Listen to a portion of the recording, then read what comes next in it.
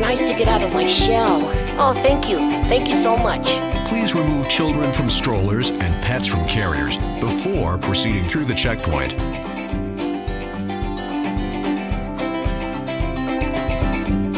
This is so cool.